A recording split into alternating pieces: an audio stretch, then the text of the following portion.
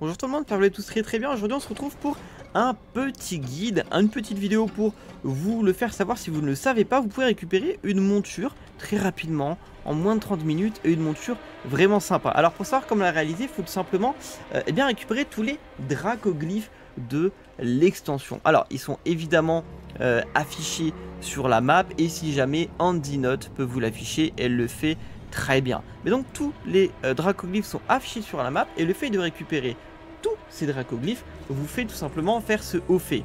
Euh, chasse aux glyphes de Casalgar. Faut avoir donc récupéré tous ceux de l'île de Dorme, tous ceux de Sainte-Chute, tous ceux des abîmes retentissants et tous ceux de Ashkaet et vous allez obtenir le chasseur céleste et et Sémite. Donc ce que je fais, je récupère mes derniers dracoglyphes de la zone d'Ashkaet et je vous montre à quoi ressemble cette monture tout simplement. Ok, c'est bon les gars, j'ai fini de récupérer mes petits dracoglyphes de HKN, donc vous faites ça, vous faites chaque zone une par une, île de Dorme, abîme retentissant, Sainte Chute, HKN, et vous récupérez euh, tout simplement tout ceci. Et ensuite vous allez avoir le chasseur céleste et sinistre.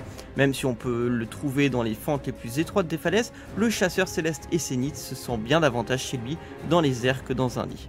Et là hop, regardez, on l'ajoute au favori, et vous avez ce très beau petit nérubien volant que vous pouvez, hop, avoir. Et regarde en plus quand il plane et tout. Il, est vraiment incroyable. Hein. Je sais pas si on peut regarder peut-être qu'en impulsion tournoyante.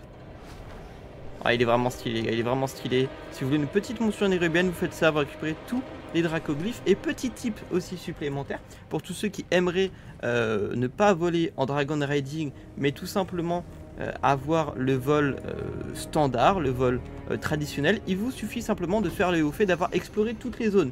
Donc vous faites les deux en même temps, vous faites vos dracoglyphes et en même temps que vous faites vos dracoglyphes, vous explorez toutes les zones en entier pour faire deux hauts faits à la fois qui vous fera donc débloquer cette belle petite monture ainsi que le vol traditionnel dans toutes les zones de The War Within. Donc voilà les gars pour cette petite vidéo, comment débloquer cette magnifique petite monture nérubienne ainsi que débloquer le vol classique dans tout Casalgar.